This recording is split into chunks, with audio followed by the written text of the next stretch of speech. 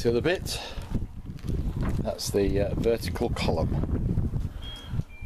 Nice hefty looking piece of iron. It's a very quick inspection. It's covered in plenty of oil.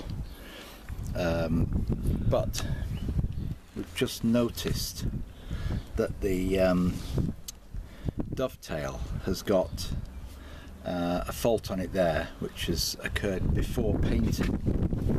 It's painted red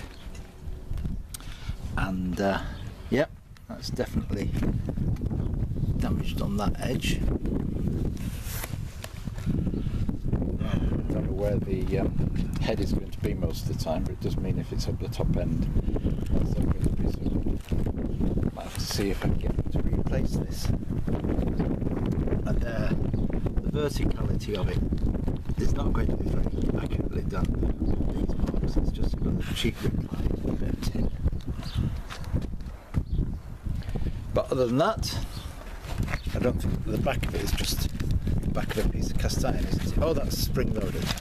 Yes, that's a spring damper on the side. Yeah, okay, it's on video rather than still. Uh, it's on the scales, on my digital bathroom scales. That's 30.8 kilograms for the um, bed bit. Yeah, 11.4 kilograms for the column without any bits attached.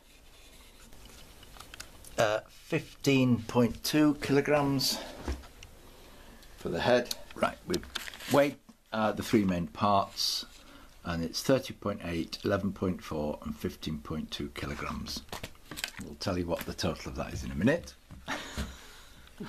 uh, there is, a, is an instruction manual that comes with it. Shows a general overall picture of the machine.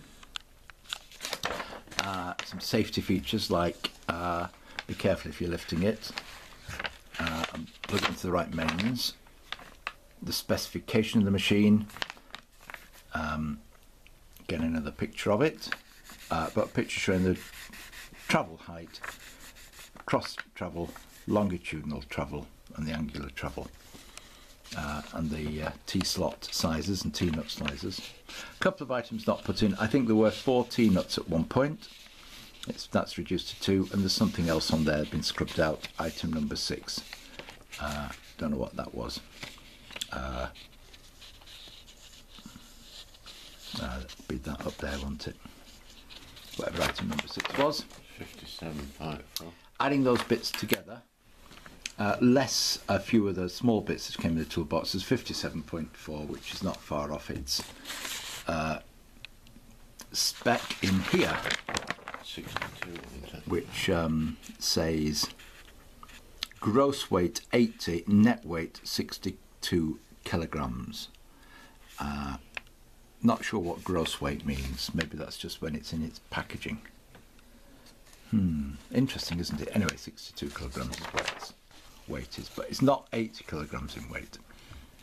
Uh, so, just what you need to do to maintain it, i.e., keep it clean and oiled. Picture some lubrication points. Where you use lubricating oil and where you use lubricating grease. So grease uh, there, I think that's on the uh, feeding screws for each of the axes.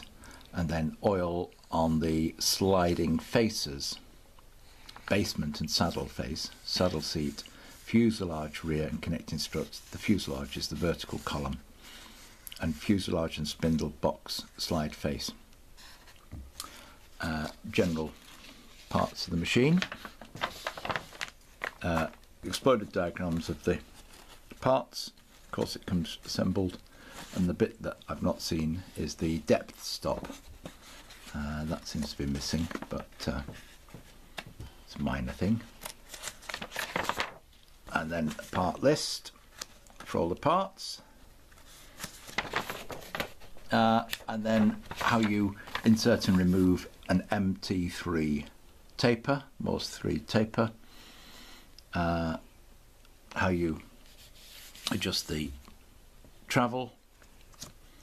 Uh, the fact that you can get some wear and might need to adjust that. It says mitre wedge adjustment. I think it means a jib strip. Uh, I think that is just the jib strips. Uh, and then some operations how you of how to do milling, but I've got a book on that. But nothing about how you assemble the three components safely, general safety instructions, and then electric diagrams. So nothing on the instructions about how you put it together. So hopefully if I get it right, then this video will tell you how to do it. If I get it wrong, it'll be a video on how it doesn't go together. Right, first step is mounting the column or fuselage as they call it onto the base. And uh, that's reasonably well machined, but needs cleaning up. That's better machined.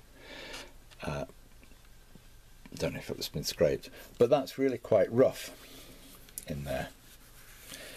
Uh, and one of the things to improve it is to actually scrape that so you get a better finish on there. Uh, I might assemble it and see how accurately it turns out first before I bother doing that. Not sure how important it is, but underneath the um, base there's some it's either paint, resin or something. See it squeezed up around the side that's stuck onto it, which is not easy to remove, but we're going to have to take it off, I think. Well, it's not very foil focused, but uh, just been chipping away at all that muck underneath it. That's created a right mess of stuff. Just an extra job didn't expect to do. Fairly obvious, I guess. Doesn't need to be in the instruction manual, but the column onto the bolt there's a pin there which locks into a hole in that casting and then we can tighten up the um, nut on the washer with the movable wrench on there. I'm pretty sure getting the head onto the column just a reminder of that chunk out of the column there before I put this on which I'm going to be saying something about. Uh, because the jib strip, that thing, clearly needs to be in place at the time that we slide this down the column.